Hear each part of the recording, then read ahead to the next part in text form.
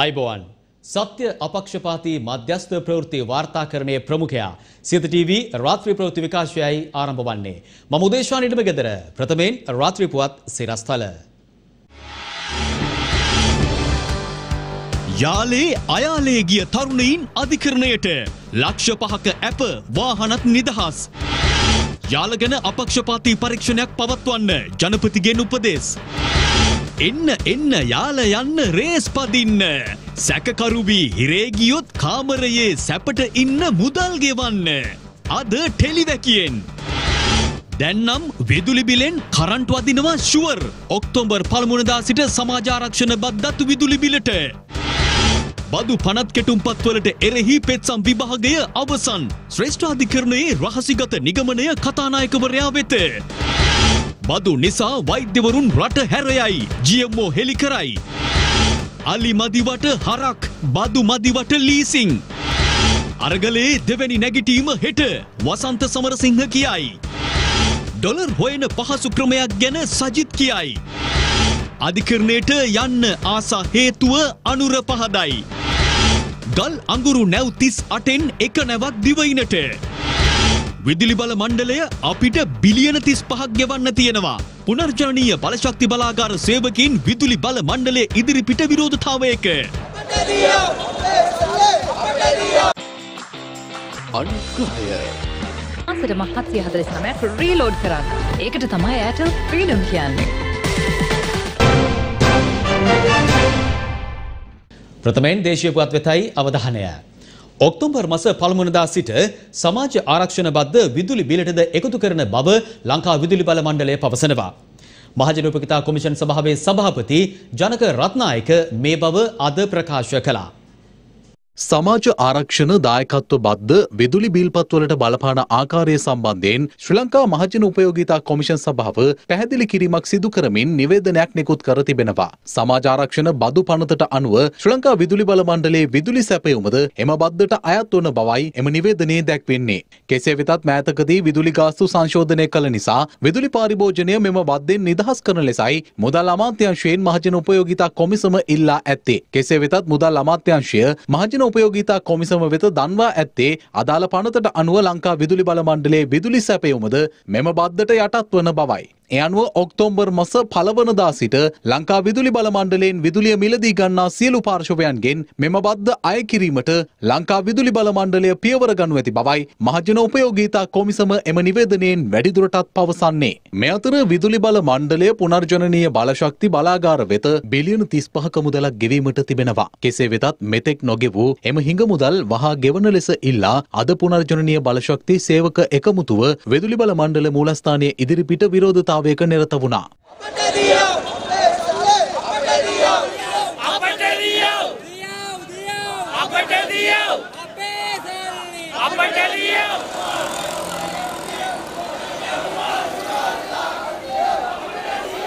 අපි විදුලි බල මණ්ඩලයේ බලධාරීන් වෙත අපේ ප්‍රශ්නය යොමු කරා. ඒ ප්‍රශ්නයට සාධනීය පිළිතුරක් ලැබුණේ නැහැ. ඉතාම නිද්‍රාශීලී උත්තරයක් තමා ලැබුණේ. මේගොල්ලෝ නිතරම මේ කතා කරනවා ලංකාවට ගල් අඟුරු ගෙන්නන්න අවශ්‍ය බිලියන 35 එකතු කරගන්න තමයි මේ සේරම කරන්න කියලා. අපේ ප්‍රශ්නය ඉතාම ලඝු කොට ප්‍රමුඛතාවයේ නොදී සලකන්නේ. ඇත්තටම මේකේ තියෙන ප්‍රශ්නේ මේ විදිහට අපි පුනර්ජනනීය බලශක්ති ක්ෂේත්‍රයට මේ වගේ කුඩම්මගේ සැලකිලි දිගටම ලබා දෙන්න ගියොත් අපිට මේ ක්ෂේත්‍රය ඉදිරියට පවත්වාගෙන යන්න බැරි වෙනවා. සාමාන්‍ය අධිකාරීතුමා එතුමාගේ පැහැදිලි පිළිතුර වුණේ එතුමාට වර්තමානය වෙන විට කිසිදු මේ පුනාජනීය ක්ෂේත්‍රය වෙනුවෙන් කිසිදු මුදලක් වෙන් කිරීමට නොහැකි බව එතුමාට මේ දෙසැම්බර් මාස වෙනකන් මුදල් සියල්ල ගල්ලංගුරු වෙනුවෙන් වෙන් කළ යුතු බවට එතුමා පැහැදිලිව ප්‍රකාශයක් කරා. අපිට එතුමා පොරොන්දු වුණා දිනකට මිලියන 100 බැගින් ලබා දෙන බවට මේ පුනාජනීය ක්ෂේත්‍රය කඩා වැටෙන්නේ නැති වෙන්න ඉස්සරහට ගෙනියන්න අවශ්‍යතාවය නිසා. ඉතින් එතුමා වර්තමානයේ වෙනකොට අද දවසේ වෙනකොට ඒ තත්ත්වෙනුත් බැහැර වෙලා කිසිදු මුදලක් වෙන් කරන්න විදියක් නැහැ කියන එක අපිට ප්‍රකාශ කරා. මේ අතර ශ්‍රී ලංකා විදුලි බල මණ්ඩලයේ සහ ගල්ලංගුරු සමාගමේ නිලධාරීන් සමග සාකච්ඡාවක් ඊයේ පැවැත්වුණා. නොරොච්චෝලේ ලක්විජය බලාගාරයට අවශ්‍ය ගල්ලංගුරු ලබා ගැනීම වෙනුවෙන් අවශ්‍ය මුදල් වෙන් කර ගැනීම සහ ප්‍රසම්පාදන කටයුතු සිදු කිරීම පිළිබඳවයි මෙම ප්‍රගති සමාලෝචන හමුව පැවැත්වුණේ. ඒ විදුලි බල හා බලශක්ති අමාත්‍යවරයාගේ ප්‍රධානත්වයෙන් මෙම බලාගාරය වෙනුවෙන් අවශ්‍ය ගල්ලංගුරු නෞකා 38න් පළමු නෞකාව ඊයේ රාත්‍රියේ මෙරටට පැමිණ තිබෙනවා. මීළඟ නෞකාව ලබන 31 වන දින පැමිණීමට නියමිත බවයි බලශක්ති අමාත්‍යංශය පවසන්නේ. යාල ජාතික වනෝද්‍යානයේ වනසතුන්ට පීඩාවන ආකාරයෙන් සංචාරය නිරත වූ පුද්ගලයන් අතරින් අධිකරණ ඉදිරිපත් කළ නව දෙනෙකු ඇප මත මුදා හැර තිබෙනවා. ඒ රුපියල් ලක්ෂ පහ බැගින් වූ ශරීර ඇප මතයි. අධිකරණ ඉදිරිපත් කළ ඔවුන්ගේ වාහනද නිදහස් කිරීමට නියෝග කර ඇති බවයි වාර්තා වන්නේ. මේ අතර සිද්ධිය සම්බන්ධයෙන් අපක්ෂපාතී පරීක්ෂණයක් පවත්වන ලෙසටයි ජනාධිපති රනිල් වික්‍රමසිංහ උපදෙස් ලබා දී තිබෙන්නේ. යාල ජාතික වනෝද්‍යානයට ඇතුළු වී වන සතුන්ට හිරිහැර සිදුවන ආකාරයට හැසිරුණු පුද්ගලින් නව දෙනා සහ එම වාහන සියල්ල ඇපමත මුදා හැර තිබෙනවා. අද ඔවුන් තිස්ස මහාරාම මහේස්ත්‍රාත් අධිකරණයට ඉදිරිපත් කිරීමෙන් අනතුරුවයි ඇප නියම කෙරුණේ. එම පිරිස රුපියල් ලක්ෂ පහ බැගින් වූ ශරීර ඇප මතයි මුදා හැර ඇත්තේ. මේ අතර යාල ජාතික වනෝද්‍යානයට ඇතුළු වී වන සතුන්ට හිරිහැර වන ආකාරයට හැසිරුණු පුද්ගලින් සම්බන්ධයෙන් අපක්ෂපාතී පරීක්ෂණයක් පවත්වන ලෙසට ජනාධිපති රනිල් වික්‍රමසිංහ උපදෙස් ලබා දී තිබෙනවා. තිබෙනවා. කැබිනට් ප්‍රකාශක අමාත්‍ය බන්දුලු ගුණවර්ධන අද පැවති කැබිනට් තීරණ දැනුම් දීමේ මාධ්‍ය හමුවේදී මේ බව සඳහන් කළා. අධිකරු ජනාධිපතිතුමත් ආරක්ෂක අංශවලටත් දැනුම් දීලා තිබෙනවා. මේ සිද්ධිය සම්බන්ධයෙන් අපක්ෂපාතී පරීක්ෂණයක් කළා දනුවන් ලබා දිය යුතු පාර්ශ්වයන්ට අවශ්‍ය දනුවන් ලබා දෙන්නත් නීසිය දේශපාලන බලපෑම් වලින් තොරව ක්‍රියාත්මක කරන්නටත් අවශ්‍ය උපදෙස් ලබා දීලා තිබෙනවා. මේ අතර මෙම පිරිසට අනුබල දුන් බවට චෝදනා එල්ල වූ නිලධාරීන් හත් දෙනෙකුගේ වැඩ මේ වන විට තහනම් කර තිබෙනවා. එම පිරිස සම්බන්ධයෙන් ඉදිරි විමර්ශන කටයුතු සිදු කිරීම සඳහා ත්‍රිපුත්කල කමිටුවක් පත් කිරීමට අමාත්‍යංශ ලේකම් චන්ද්‍රා හේරත් තීරණය කර තිබෙනවා. යාල වනෝද්‍යානය ආශ්‍රිතව කටයුතු කර නිලධාරීන් රාජකාරිමේ වගකීම පැහැර හැරීම සහ ඔවුන් එම සිද්ධිය සම්බන්ධයෙන් කිසිදු විටක ඉහළ නිලධාරීන් දැනුවත් කිරීමට පියවර නොගැනීම සම්බන්ධයෙන් විමර්ශනය කිරීම සඳහායි එම කමිටුව පත් කර ඇත්තේ. යාල සිද්ධිය සම්බන්ධයෙන් අපක්ෂපාතී පරීක්ෂණයක් පවත්වන ලෙස ඉල්ලමින් පරිසර සංරක්ෂණ වේදීන් රැසක් වනජීවී සංරක්ෂණ දෙපාර්තමේන්තුවේ නීති අංශයේ ප්‍රධානියා සහ අධ්‍යක්ෂ ජෙනරාල්වරයා හමු වී තිබෙනවා. අසදු ලේඛන ගත කිරීමක් පිළිබඳව පූර්ව වශයෙන් වාර්තා වීමක් සිද්ධ වෙලා තිබුණත් ඔවුන් ප්‍රකාශ කළා ඒ වෙලාවේ අසදු ලේඛන ගත කිරීමක් තාම නිශ්චිත වශයෙන් කවුද කියලා හඳුනාගෙන නැති බව. ඒ වගේම අපි එහිදී විමසා සිටියා මහින්ද අමරවීර අමාත්‍යවරයාගේ පුතා මේ සිද්ධියට සම්බන්ධද කියලා එහිදී ඔවුන් කිව්වේ ඒ පිළිබඳව ඔවුන් තාම විමර්ශනය කරමින් සිටින බව. ඉතින් ඒ පිළිබඳව වනජීවී නීතිය නිසි ලෙස ක්‍රියාත්මක නොවුනොත් අපිට සිද්ධ වෙනවා ඒක පිළිබඳව මීට වඩා විධිමත් ඒ වගේම විද්‍යාත්මක විරෝධයක් පාන්න. අපි ඇහුවා වනජීවී අමාත්‍ය මහින්ද අමරවීර මහතාගේ වාහනයට හසුවී මුවෙක් මිය යාම පිළිබඳව එහිදී ඇත්තටම වනජීවී අධ්‍යක්ෂ ජනරාල්වරයා සහ සෙසු නිලධාරීන් අපිට ප්‍රකාශ කළේ තාමත් ඒ පිළිබඳව පරීක්ෂණයක් යනවා කියලා. ඉතින් අපි කනගාටු වෙනවා වනජීවී අමාත්‍යවරයාම මුව මරණ තත්වයට පත්වීම එතුමගේ රියදුරන් ඒ තත්වයට පත්වීම ඉතින් සහ තාමත් ඒ සම්බන්ධයෙන් නීතිය අකර්මණ්‍ය තත්වයක තිබීම පිළිබඳව අපි කනගාටු වෙනවා. අපි ඉල්ලා සිටිනවා මේ හඬක් නැති සත්තුන්ගේ හඬ වෙන්න කරුණාකරලා ඒ වෙනුවෙන් වැඩ කරන ආයතනයේ හැටියට ඒ සත්තුන්ට සාධාරණ ඉෂ්ට කරන්න කියලා අපි ඔවුන්ගෙන් ඉතාම කාරුණිකව ඉල්ලා සිටිනවා. මේ වන විට සියලු වාර්තා බිඳදවමින් සියලු රේටින්ස් බොරු කරමින් ලංකාවේ වැඩිම පිරිසක් නරඹන ටෙලිවිෂන් ටෙලිවැකිය දැන්. ටෙලිවිෂන් ටෙලිවැකිය. ඊයලිව්වේ එකසිය හතලිස් නවවන ටෙලිවැකිය. අද එකසිය පනස් වන ටෙලිවැකිය. මේ ටෙලිවැකි එකසිය හතලිස් නවයට මේකැන ඊය වෙනකං ගත්තොත් පැය විසි එකයි විනාඩි විස්සක් හඬ කවලා තියෙනවා. ඊය ලිව්වේ කිරි හොරකම ගැන නේද කිරි හරක් ගෙන්නූ අම්බරුවන් ගැන. දරුවන්ට කිරි කඳුලක් නැති රටේ ඔස්ට්‍රේලයානු කිරිගවයින්ට ඩොලර්වලින් ගෙවූ කකුල් දෙකේ මීගවයින් ගැන.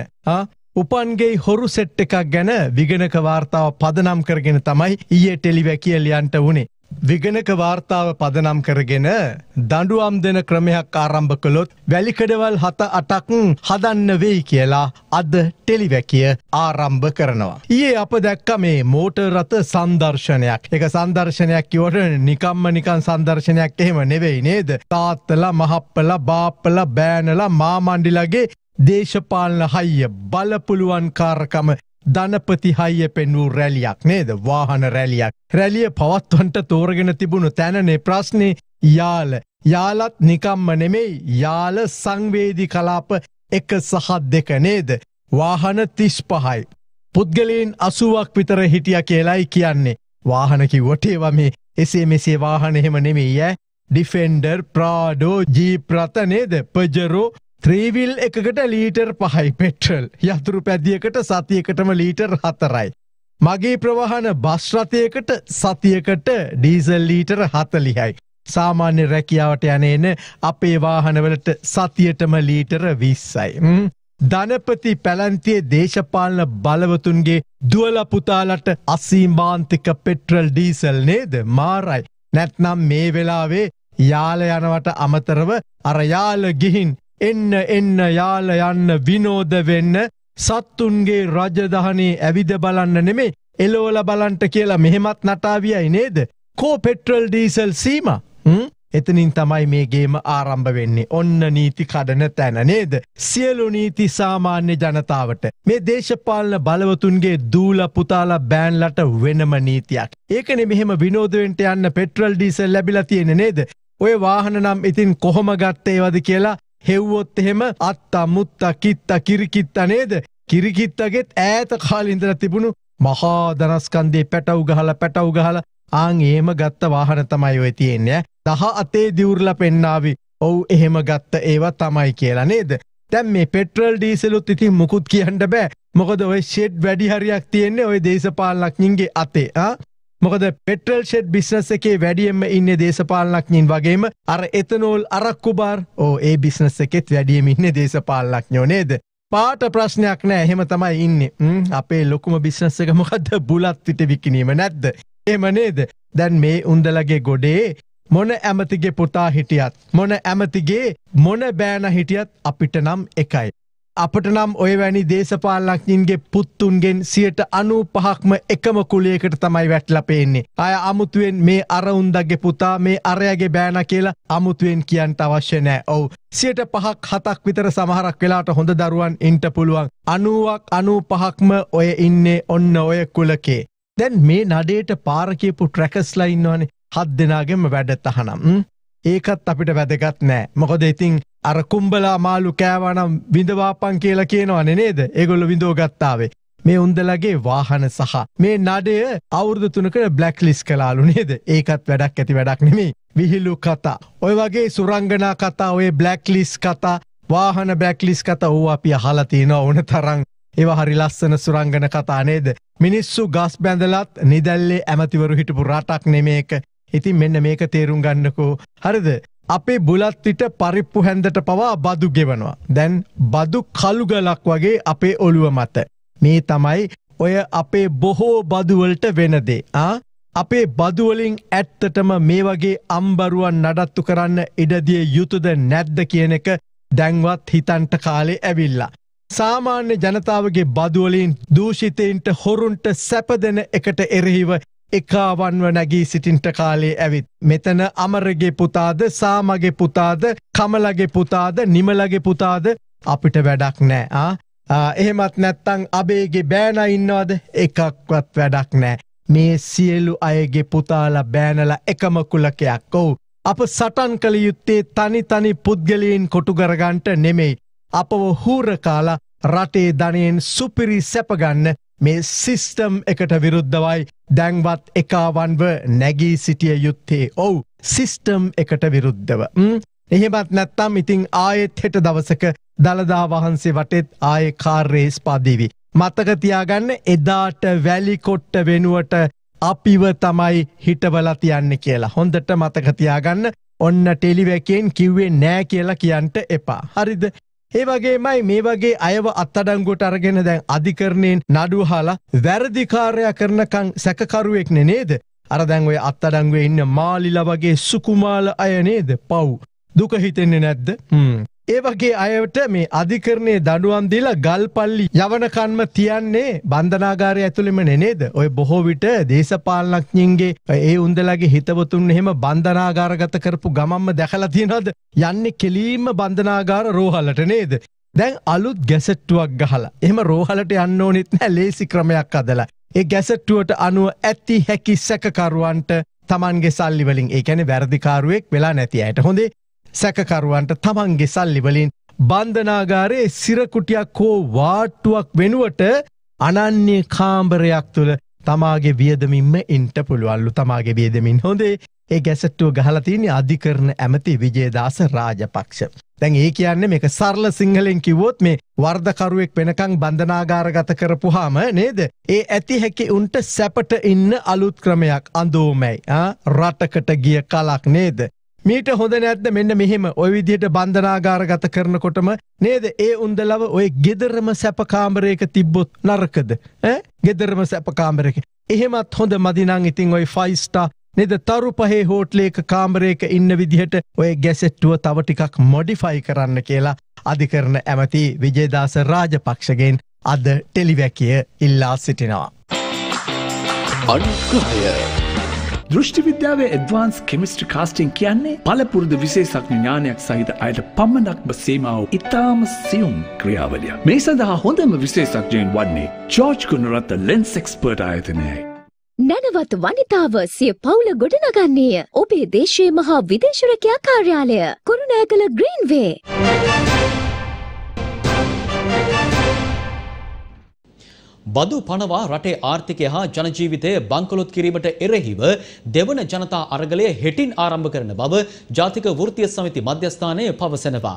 බදුබර නිසා රටේ ආර්ථිකය සහ ජනජීවිතය අද බංකොලොත් වෙලා. ඒට එරෙහිව දෙවන ජනතා අරගලය ජාතික වෘත්තීය සමිති මධ්‍යස්ථානය මගින් හෙට පස්සර තුනට කොළඹ හයිට් පිටියේදී පැවැත්වීමට නියමිතයි. ඒ බව එහි කැඳවුම්කරු ජනතා විමුක්ති පෙරමුණේ හිටපු පාර්ලිමේන්තු මන්ත්‍රී වසන්ත සමරසිංහ පවසා සිටියා. එමෙන්ම මෙහිදී සටන් පාට කීපයක්ද මුල් කර ගනිමින් රැළිය පැවැත්වීමට නියමිතව තිබෙන බවයි ඔහු සඳහන් කළේ. මේ පිළිබඳව අපි ඔහුගෙන් විමසීමක් කළා. වැඩ කරන ජනතාව බරපතල ප්‍රශ්න මුණ දීලා තිනවා බඩු මිල වැඩිවීම උද්දමනය පොලි අනුපාත ඉහළ යාම ඒ වගේම ආණ්ඩුව මර්ධනය ආරම්භ කරලා තියෙනවා අනිත් පැත්තෙන් වැඩ කරන ජනතාව රැකියා අහිමි කරමින් ජාතික සම්පත් විකිණීම ආරම්භ කරලා තියෙනවා. මැද පන්තික ජනතාව බරපතල පීඩාවට පත් කරන නව බදු ප්‍රතිපත්තියක් ගෙනලා තියෙනවා 600කින් බදු වැඩි කරලා. මේ තත්ත්වයන්ට එරෙහිව වැඩ කරන ජනතාව ඒකාබද්ධ ජනතා ව්‍යාපාරය ලෙස උතුසන් සම්බන්ධීකරණ මධ්‍යස්ථානයේ හෙට දවසේ කොළඹදී දෙවන්ත විරෝධතා ව්‍යාපාරයක් පවත්වනවා. හවස 3ට කොළඹ හයිට් පිටියේදී ආරම්භ කරනවා.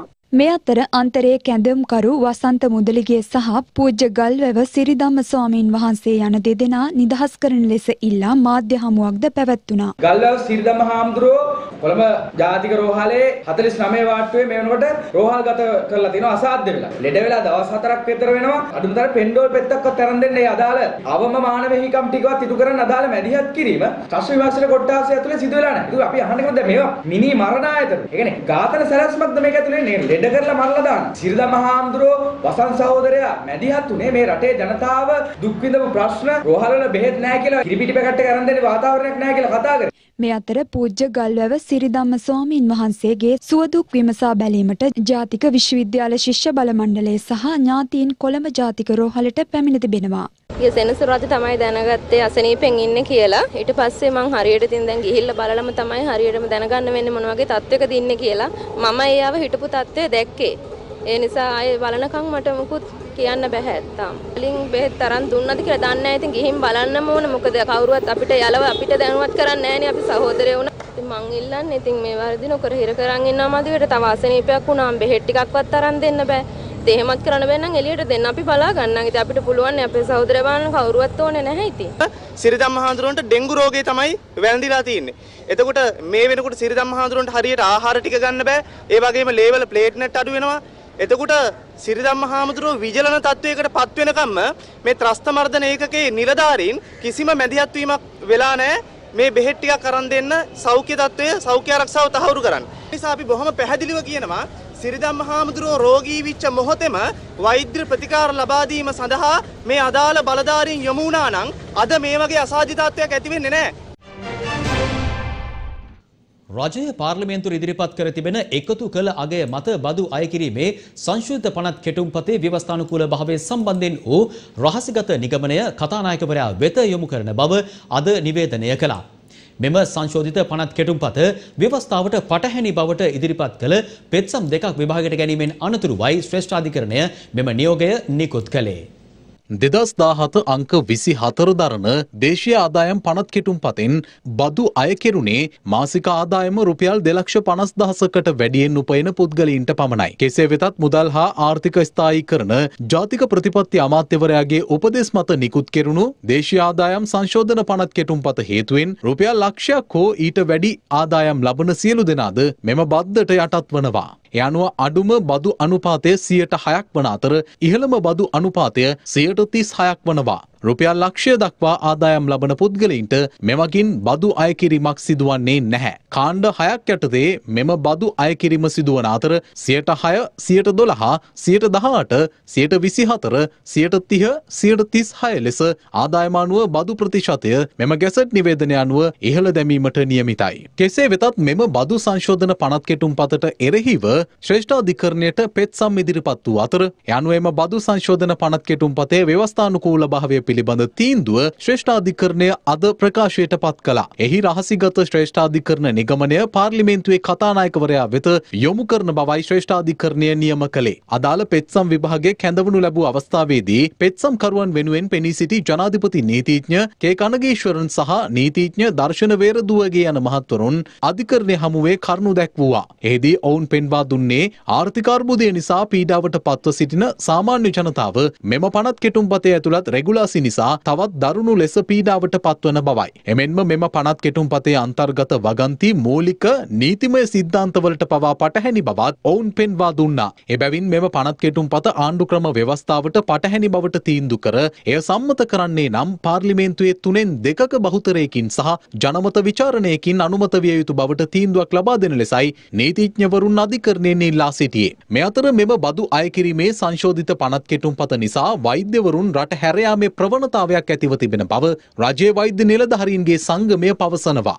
අපි දන්නවා මේ වන විට මේ රටේ තියෙන සමාජ ආර්ථික දේශපාලන අර්බුදයත් එක්ක මේ රට විද්වතුන් වෘත්තිකයන් වෛද්‍යවරුන් විශාල වශයෙන් රට හැර යමින් පවතිනවා. ඊට ප්‍රබලම හේතුව බවට තියෙන්නේ මේ තියෙන අර්බුදකාරී වාතාවරණයත් එක්ක ඔවුන්ට වඩා හිතකර වෘත්තීය පරිසරයක් මේ රට තුළ ඇති නොවීම. අපි විශ්වාස කරනවා මේ මොහොතේදී අජේ ප්‍රතිපත්තිය වේ යුත්තේ මේ බුද්ධිගලණය වැළැක්වීම සඳහා මේ රටේ බුද්ධිමතුන් වෘත්තිකයන් මේ රට තුළ රඳවා ගැනීම දිරිගැන්වීම සඳහා වැඩපිළිවෙලක් ඉදිරිපත්. ඒ වෙනුවට මේ ආකාරයේ අසාධාරණ අත්නෝමතික අදූරදර්ශී බදු ප්‍රතිපත්තියක් ඉදිරිපත් කිරීම තුළ සිද්ධ වෙන්නේ අර නැවතත් ඔවුන්ට මේ රට හැරදා යාමට තවත් මඟ පෑදීමක්. මේ මේ බදු සංශෝධන හරහා දැන් උදාහරණයක් අපි ගත්තොත් විශේෂඥ වෛද්‍යවරයෙක්ගේ වාර්ෂිකව මේ හරහා ගෙවන්න සිද්ධ වෙන බදු මුදලින් ඔවුන්ගේ උපයන විට බද්ද පමණක් අපි මේ ප්‍රකාශ කරන්නේ සාමාන්‍යයෙන් ඔහුගේ මාස දෙකක පමණ වැටුප ඔහුට නැවත ගෙවන්න සිද්ධ වෙනවා. ඒකට ඔවුන් පැහැදිලිවම මේ රට තුළ රැඳී සිටීම ගැන දෙපාරක් හිතනවා මේ වගේ තත්ත්වයක් තුළ. කොහාම මේ සංශෝධන වෙනස් කරන්න. එක පැත්තකින් බදු අනෙක් පැත්තෙන් වාහනයට ලීසින්. සුළු හා මධ්‍ය පරිමාණ ව්‍යාපාරිකයින් සේම අපේ ජීවිතත් දැන් දත් තිස් දෙකට මැදි වුණු දිව වගේ. කොයි වෙලේ හැපෙයිද කියලා දන්නේ නැහැ. මේ ලීසින් පිළිබඳ කතාවයි. සම්පූර්ණයෙන්ම මුදල් ගෙවලා ගන්න නැතිකම නිසායි වාහනයකට ලීසින් දාන්නේ. සමාගම් වෙලා එනම් ලීසින් දාන්නේ සමාගමෙන් ගෙවන්න. දැන් කොහොම වුණත් මේ වෙලාවේ ලීසින් ගෙවා ගන්න බැරි තරමට ඇද වැටිලයි තියෙන්නේ. ඉන්ධන සීමාව ආදායම් පහත වැටීම යතර ප්‍රධානයි. හයර් දුවන්න ගන්න ත්‍රීවිල් එක යතුරු පැදිය කාරක ඇතුළු බොහෝ වාහන මේ වෙද්දී ලීසින් ගෙවා ගන්න බැරි තත්වයකට පත් වෙලා. මේකට ප්‍රධාන හේතුව තමයි බොහෝ දෙනා වාහනයක් ගන්නේ තමන්ගේ වැටුප පිළිබඳව විශ්වාසය තියලයි. රස්සාවක් කරලා හරිහම්බ කරගන්න වැටුපෙන් එදාවේල පිරිමහගන්නවා කියන්නේ දැන් හිතන තරම් ලෙහෙසි දෙයක් නෙවේ. අපේ රටේ වාහන ලේසින් වාරික හිමිකරුවන් ලක්ෂ අසුවක් සිටිනවා. මේ වෙන පිට මේ ලක්ෂ අසුවම අස්සරණ වෙලා. ඒකාබද්ධ ප්‍රවාහන මෙහෙයුම් මධ්‍යස්ථානයේ සභාපති සම්පත් රණසිංහ පවසන්නේ ශ්‍රී ලංකා මහ බැංකුව වාහන අත්පත් කර ගැනීම සම්බන්ධයෙන් නිකුත් කර ඇති චක්‍රලේඛයන්ද උල්ලංඝනය කරමින් අදාළ ආයතන බලහත්කාරයෙන් වාහන අත්පත් කරගෙන ඇති බවයි. මේ ලීසින් ගැටලුවට බස් රථවලටත් මුහුණ දීමට සිදු ඇති බවයි ඔහු පවසන්නේ. රාජ්‍ය සේවකයන්ගේ අමතර වැටුප් සියල්ල අද ඇනහිටලා තියෙන්නේ. එදා ඔවුන්ට ලැබිච්ච අතිකාල දීමනා සහ වෙනත් දීමනා පාදක කරගෙන ඔවුන් ලීසින් වාහනයක් ගත්තා. ඒක මෝටර් සයිකලයක් වෙන්න පුළුවන්. පුංචි කාර් එකක් වෙන්න පුළුවන්. ඒ කාර් එකට අද ලීසින් වාරික ගෙවා ගන්න බෑ. ඔවුන්ට රජයේ ප්‍රමාණවත් නොවන වැටුපක් ලබනකොට ඔවුන්ට ඒ ලීසින් වාරික ගෙවා ගැනීමට බැරිව විශාල වශයෙන් අසරණ පත් වෙනවා. නිසා අපි රජයෙන් විශේෂයෙන්ම ඉල්ලීමක් කරනවා. වහාම මේ කටයුතු සම්බන්ධව මැදිහත් වෙන්න. රටේ ලක්ෂ 80ක් සිටිනවා වාහන ලීසින් වාරික හිමිකරුවන්. මේ ලක්ෂ 80ම අද වෙනට අසරණතාවයට පත් වෙලා. බදු පිට බදු ගහද්දී ඒ හැම දෙයක්ම පොඩි මිනිස්සයාගේ කර උඩට තමයි වැටෙන්නේ. මේ ලීසින් මාෆියාවට මහ බැංකුව වහා මැදිහත් විය යුතුයි. ලීසින් නිසා වලය වැටුණු ජනතාව පළ කරන්නේ මෙවැනි අදහසක්. ලීසින් කම්පැනි දිනෙන් දින මෙයා පොලි වැඩි කරනවා. ඉතින් කරගන්න අමාරු තත්ත්වකින් ඒ හින්දා මේගොල්ලෝ ලොකු ප්‍රශ්න අපට දානවා. දවසෙන් දවස දවසෙන් දවස ලීසිනුත් වැඩි වෙනවා. ලීසිනයක් දාගන්න බෑ. අපිට අලුත් වාහනයකට යන්න පුළුවන් කමක් නැහැ. තියෙන වාහනේව රිපෙයාර් කරගන්න බැරි තත්ත්වයක් වෙනකොට තවත් මෙයා වැඩි කරනවා අපිට මොන විකල්පයක්ද කරන්න කියලා අපිට හිතා ගන්න බැරි තත්ත්වයකට පත් වෙලා තියෙනවද? ඩීසන් වාරකේ දැන් එරියස් තියෙන්නේ 130000 ගාණක් එරියස්. මේ අපිට ගෙවාගෙන යන්න බෑ. පේනවනේ වාහනවල හැටි. කනවා බොනවද මේවල ලීස් ගෙවනවද ගිහිල්ලා වාහනේ බාර දෙන්න තමයි තියෙන වෙන කරන්න දෙයක් නැහැ. අපි ඉතින් බැලුවාම ජීවත් වෙන්නෙත් හරි අමාරුයි. මොකද අපි ගොඩක් දුර ඉඳන් ඇවිල්ලා කොළඹ රටේ ජීවත් වෙන්නේ මේ වැඩ කරලා. ඉතින් දැන් අර වෙනදා වගේ නෙමෙයි ලීසින් වැඩි හින්දා ඉතින් ජීවත් වෙන්න හරි අමාරුයි. පොලිය වැඩි කරාම අපිට තවත් අපහසුයක් එනවා. සහන කාලය කියලා පහක් කරාට මේ ලෝන් සිස්ටම් එකට ගිහිල්ලා තියෙන කට්ටිය. ඒ ලෝන් එකෙත් මුලින් ගෙවන්නේ පොලිය. මාස 12ක් යනකම් පොලිය ගෙවනවා. ඊට පස්සේ මාස 12න් පස්සේ මුදල ගෙවන්න කියනවා. තිබුණට වැඩිය අමාරු තත්ත්වයක් වෙනවා ඒක. මොකද පොලිය විතරයි මුලින් අය කරගන්නේ. වාහනේ ෆිනෑන්ස් දාලා අරගෙන වාහනේ ගෙවාගෙන යන්න විදිහක් නැහැ. මේකේ වගකියුතු ඒගොල්ලන් මේකට මැදිහත් වෙලා අපිට සාධාරණයක් කරලා දෙන්න කියලා. ඖෂධ හිඟයට විවිධ හේතු බලපානවා. ඒ අතරින් වග කිව යුතු පාර්ශවයන්ගේ sannivedana දුර්වලකම් ප්‍රධාන බලපෑමක් එල්ල කර ඇති බවයි රජයේ වෛද්‍ය නිලධාරීන්ගේ සංගමය ප්‍රකාශ කළේ. මේ ඖෂධ සහ උපකරණ හිඟය ගැන අපි කතා කරන පළවෙනි අවස්ථාව නෙමෙයි. මේ සෞඛ්‍ය සේවාවට මේ රටේ සෞඛ්‍ය පද්ධතියට ඖෂධ සැපයීම බාරව සිටින සෞඛ්‍ය අමාත්‍යාංශයේ ඉන්නවා, රාජ්‍ය ඖෂධ නීතිගත සංස්ථාවේ ඉන්නවා, රාජ්‍ය ඖෂධ නිෂ්පාදන නීතිගත සංස්ථාවේ ඉන්නවා, මධ්‍යම ඖෂධ ගබඩාවේ ඉන්නවා, ජාතික ඖෂධ නියාමන අධිකාරියේ ඉන්නවා. මේ ආදී මේ පාර්ශවවල තියෙන සම්බන්ධීකරණයේ ඔවුන්ගේ sannivedanaya තියෙන දුර්වලතා සහ ඔවුන්ගේ අකාර්යක්ෂමතාවය. මේ අද දිනේ වෙන විට මේ රටේ සෞඛ්‍ය පද්ධතිය තුල අත්‍යවශ්‍ය ඖෂධ 100කට වැඩි ප්‍රමාණයක් නැහැ. හිඟයි නෙමෙයි නැහැ. මේ රටේ හෘද රෝගීන්ට අවශ්‍ය ඇස්ප්‍රීන් වගේ ඖෂධවල විශාල හිඟයක් මේ වෙනකොට මතුවලා තියෙනවා. එතකොට රෝගියෙක්ට හෘදයාබාධයක්ද කියලා පරීක්ෂා කරලා බලන ECG පටිය ඒ ඒ මුද්‍රණ කඩදාසිවල විශාල හිඟයක් මතුවෙමින් පවතිනවා. සේලයින් නැහැ. මේ මූලික දේවල් අපි කතා කරන්නේ. පිරිටන්, පැරසිටමෝල් වගේ ඖෂධ නැහැ. අනිත් පැත්තෙන් දැන් ඊයේ දවසේදී අපිට ගම්පහ රෝහලෙන් ලැබෙනවා වාර්තාවක් ප්‍රතිජීවක ඖෂධ විශාල ප්‍රමාණයක් නැහැ. ඒ ඒ සනීපාරක්ෂක දියර නැහැ. කාන්තා වාට්ටුවල රෝගීන්ට සමහරවිට ලබා දෙනවා සනීපාරක්ෂක තුවා නැහැ. මේ දේවල් පවා මේනට මේ සෞඛ්‍ය පද්ධතිය තුල නැහැ. ඉතින් මේ தත්ත්වයත් එක්ක මේ රටේ සෞඛ්‍ය පද්ධතිය මේ විදිහට අරගෙන යන්නේ කොහොමද කියන එක අපිට ප්‍රශ්නයක් තියෙනවා. අපි දකිනවා මධ්‍යම ඖෂධ ගබඩාව විශේෂයෙන් Tamanගේ ඒ ඒ කාර්යභාරය හරියට ඉෂ්ට වෙන්නේ නැහැ. ඔවුන් අතින්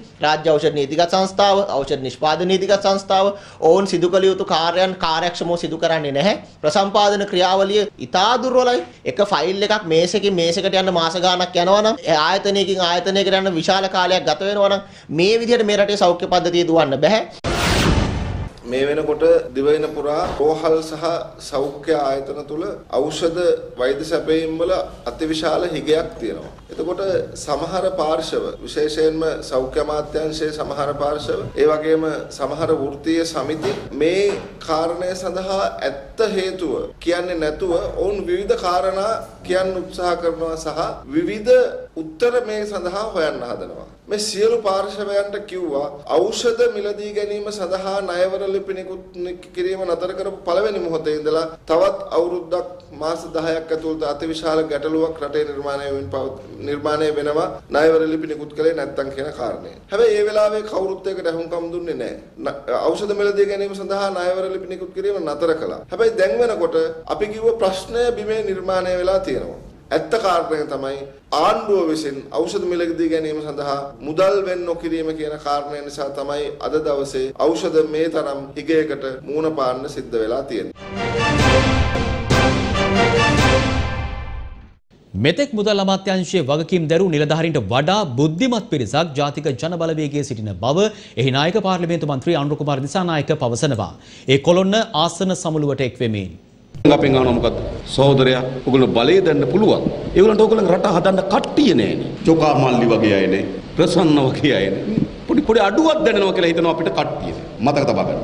මෙතෙක් මේ ලංකාවේ බී වුණු මුදල් අමාත්‍යරුන්ට වඩා ඉහළතම මුදල් අමාත්‍යංශය බාර ගන්න පුළුවන් කණ්ඩායම ඉන්නේ ජාතික ජනබලවේගයෙන්. අපි පහුගියද අපේ ආර්ථික කවුන්සිලේලි දැක්කෝ. ජයවර්ධනපුර විශ්වවිද්‍යාලයේ මහාචාර්ය ජනක කුමාරසිංහ, ජයවර්ධනපුර විශ්වවිද්‍යාලයේ මහාචාර්ය දයානන්ද, ඒ වගේම අපේ ආචාර්ය ජයරත්න, ඒ වගේම අපේ සුනිල් හඳුනි සහෝදරයා ඇතුළු කණ්ඩායමක් අපි නම් කරා මෙන්න ආර්ථික කවුන්සිලය. අපි අභියෝග කරනවා ලංකාවේ ඉන්න ආර්ථික පොරවල් හැම කෙනෙකුටම පුළුවන් නම් සංවාදයේ දෙමු හොඳම කණ්ඩායම අපි දීලා තියෙනවා. මහජනයාගේ ජීවිතයත් එක්ක ගැට ගැහිලා කාලාන්තරයක් දේශපාලන කරපු කණ්ඩායමක් අපේ ආර්ථිකය බාර ගන්න පුළුවන්. මෙතෙක් ගොඩනගන ලද ප්‍රධානතම ආර්ථික කඳවුර නිර්මාණය කරන්න පුළුවන්කම තිබෙන්නේ ජාතික ජනබලවේගයෙන්. හැබැයි රවි වගේ හොරෙක් නෑ ප්‍රසිද්ධිය කියන්නේ. බැසිල් වගේ හොරෙක් නෑ. මම ප්‍රසිද්ධිය නැත්තම් නඩු දාන්න කියන්නේ. එහෙම හරි නඩුවක් දාගන්න කැමති මට. ඒගොල්ලෝ අධිකරණයට ගෙන්නන්න. එහෙම හරි ගෙන්නන්න. ඩොලර් හිඟේ මගහරවා ගැනීම සඳහා පැන්ඩෝරා මුදල් යළි මෙරටට ගෙන්වා ගැනීම අත්‍යවශ්‍ය බව විපක්ෂ නායක සජිත් ප්‍රේමදාස පවසනවා. ඒ විපක්ෂ නායක කාර්යාලයේ පැවති හමුවකදී ඖෂධ හිඟයට ප්‍රධාන පදනම් හැටියට අපිට තේරෙනවා ඖෂධ ගෙන්වීමේ නිවැරදි ප්‍රමුඛතාවයක් නොමැතිකම. ඒ වගේම ඩොලර් හිඟේ. ඩොලර් ප්‍රශ්නය කොහොමද විසඳන්නේ? බොහෝ දෙනෙක් එක එක සූත්‍ර එක එක ක්‍රමවේද ඉදිරිපත් කරනවා. මොහොතකටවත් කවුරු හරි හිතලා තියනවාද? ආණ්ඩු පාර්ශ්වයේ පැන්ඩෝරා පත්‍රිකාවල සඳහන් වෙලා තිබෙන රටට අහිමි කර කෝටි ප්‍රකෝටි බිලියන ගණන් ඩොලර් ඒවා ගෙන්වා ගන්නට කවුරු හරි හිතුවද? අපි ඉන්දියාවට කතා කරනවා. ඉන්දියාව නම් කියලා තියෙනවා දැන් ඩොලර් දුන්න පයිප්ලයින් එක දැන් හිස් කියලා චීනයට කතා කරනවා ඇමරිකාවට කතා කරනවා යුරෝපා හවුලට කතා කරනවා. ඒක ප්‍රශ්නයක් නැහැ. නමුත් හරියට පැන්ඩෝරා පත්‍රිකාවල සඳහන් වෙලා තිබෙන රටට අහිමි කරපු ඒ ඩොලර් ටික ලබා ගන්න ක්‍රමවේදයක්. රාජ්‍ය ආදායමත් වැඩි වෙයි සංචිතත් වැඩි වෙයි ඩොලරුත් වැඩි වෙයි. ඖෂධ හිඟයට ප්‍රධානතම හේතුවක් වන ඩොලර් අඩුපාඩුවත් මග හැර බොහොම ලේසි දෙයක් තියෙන කරන්න ඒ දේ කරනකොටත් බොහොම පැහැදිලිව කියන්නට ඕන. පුද්ගලයෝ ඉලක්ක කරගෙන නෙවෙයි. සිදුවුණු වැරදි ඉලක්ක කරගෙන. මේ මුදල් සම්පත ආපහු ලබා ගැනීම වැඩ තිලිනි ප්‍රියමාලී ලෝක වෙළඳ මධ්‍යස්ථානයේ පවත්වාගෙන ගිය ව්‍යාපාරික ස්ථානය සඳහා මාස 8ක කුලී මුදල් ගෙවා නැති බවට තොරතුරු වාර්තා වනවා. එක් මසක් සඳහා ගෙවිය යුතු මුදල රුපියල් ලක්ෂ 16ක් බවයි වාර්තා වන්නේ. කෙසේ වෙතත් මේ සම්බන්ධයෙන් මෙතෙක් කිසිදු පැමිණිල්ලක් ලැබී නැති බව අපරාධ පරීක්ෂණ දෙපාර්තමේන්තුවේ ආරංචි මාර්ග පවසනවා. මහා පරිමාණ මූල්‍ය වංචා රැසකට අදාළව මේ වන විට රක්ෂිත බන්ධනාගාර ගත කර සිටින තිලිනි ප්‍රියමාලිට එරෙහිව අපරාධ පරීක්ෂණ දෙපාර්තමේන්තුවට ලැබී ඇති පැමිණිලි සංඛ්‍යාව 11ක්. අදාළ පැමිණිලි සම්බන්ධයෙන් මේ වන විට පරීක්ෂණ ක්‍රියාත්මකයි. මහා සංඝරත්නය දේශපාලඥයින් වෛද්‍යවරුන් විවිධ වෘත්තිකින් ඇතුළු පාර්ශව රැසක් තිලිනි ප්‍රියමාලිට එරෙහිව පැමිණිලි ඉදිරිපත් කර තිබෙනවා. තිලිනි ප්‍රියමාලි ලෝක වෙළඳ මධ්‍යස්ථානයේ සිය කාර්යාලය පවත්වාගෙන ගිය අතර එම මහල සඳහා මාස කිහිපයක කුලී මුදල් ගෙවා නැති බවට වාර්තා වනවා. මාසකට රුපියල් ලක්ෂ දහසේ බැගින් මාස අටක කුලී මුදල් ගෙවා නැති බවටයි තොරතුරු වාර්තා වන්නේ. කෙසේ වෙතත් කුලී මුදල් නොගෙවූ බවට වන පැමිණිල්ලක් මෙතෙක් අපරාධ පරීක්ෂණ දෙපාර්තමේන්තුවට ලැබී නැති බවයි ආරංචි මාර්ග පවසන්නේ. මහා පරිමාණ මූල්‍ය වංචා රැසකට අදාළව මීට පෙර ලැබුණු පැමිණිලි 11 සම්බන්ධයෙන් විමර්ශනය කිරීමේදී මේ පිළිබඳව හෙළි වූ බවයි වාර්තා වන්නේ. මේ අතර ටිකෝ සමූහ ව්‍යාපාරයේ සේවකීන්ට අදාළ ස්ථානයට යාමට පමණක් අවසර ලබා දී ඇති අතර එහි කටයුතු පවත්වාගෙන යාම නතර කර ඇති බව වාර්තා වනවා. ප්‍රියමාලිට එරෙහිව ලැබී ඇති පැමිණිලි 11 සම්බන්ධයෙන් ක්‍රිෂ් සමූහ ව්‍යාපාරයේ අධ්‍යක්ෂිකාවක් බව පැවසෙන ජානකී සිරිවර්ධනගෙන් ඉදිරියේදී ප්‍රකාශ සටහන් කර ගැනීමටද නියමිතයි. මේ අතර තිලිනි ප්‍රියමාලි හෙලිකොප්ටර් යොදාගෙන කතරගම වන්දනාවේ ගිය බවට මේ වන විට තොරතුරු අනාවරණය වී තිබෙනවා. එක් වන්දනා අවස්ථාවකට ඇය වැය කර ඇති මුදල රුපියල් මිලියනයක් බවයි වාර්තා වන්නේ. ක්‍රීඩා අමාත්‍යවරයා ගත් තීරණයකට එරෙහිව පාපන්දු සම්මේලනයේ විසින් ගොනු කර තිබූ නඩුව අද අවසන් වූ බව පාපන්දු සම්මේලනයේ හිටපු සභාපති අනුරද සිල්වා පවසනවා. ඒ අනුව දින 69ක් ඇතුළත පාපන්දු සම්මේලනය පැවැත්වීමට කටයුතු කළ යුතු බවයි ඔහු වැඩිදුරටත් ප්‍රකාශ කළේ. අධිකරණය විසින් පාපන් සම්මිල්ලයේ පැවතුන ගැටලු වෙනුවෙන් අද ඔවුන්ගේ තීන්දුවක් දෙනු ලැබුවා. ඒ තුලින් මොකද මේ මේ නඩුව ගොමු කරලා තිබුණේ පාපොන් සම්මේලනයේ හිටපු සභාපති සහ ලේකම් විසින් ඔක්තෝබර් මාස 31 වෙනිදා දවසා කාලය දිවු කරලා තිබුණු ගැසට් එක ක්‍රීඩා ඇමතිතුමා විසින් ඒක අවලංගු කරනු ලැබුවා. ඒ අවලංගු කිරීමට එරෙහිව තමයි ජස්වර් මහතා විසින් අධිකරණයට අපෑලක් ගොනු කරලා තිබුණේ. ඉතින් අද ඒ අපෑල අහකට විසි වුණා. ඒ අනුව ඔවුන්ට සිදු වුණා අධිකරණයේ තීන්දුව මත කටයුතු කරන්න. ඒ අනුව අධිකරණය තීන්දුව කරලා තියෙනවා ක්‍රීඩා අමාත්‍යාංශයේ රෙගුලාසි සහ පාපන් සම්මේලනයේ අවසන් වරට සංශෝධනය වුණු ව්‍යවස්ථාවට අනුව නිලවරණය පවත්වන්න. ඉතින් මා බලාපොරොත්තු වෙනවා අනුදුරේදීම සියලුම පාපන්දු ලීගයන් වල ඔබ සියලු දෙනාම ඒ ව්‍යවස්ථාවට අනුව සාධාරණ ඉටු කරලා සුදුසුම කෙනා පත් කරගන්න කියලා මම ඉතාමත් ඕනෑකමින් ඉල්ලා සිටිනවා.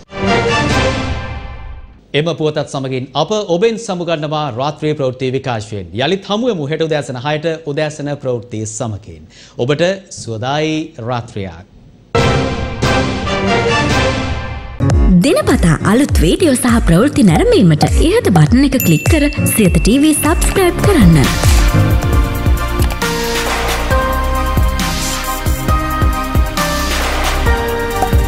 අලුත් වීඩියෝ ගැන මුලින්ම දැනගන්න මෙම සීනුව කලික් කරන්න.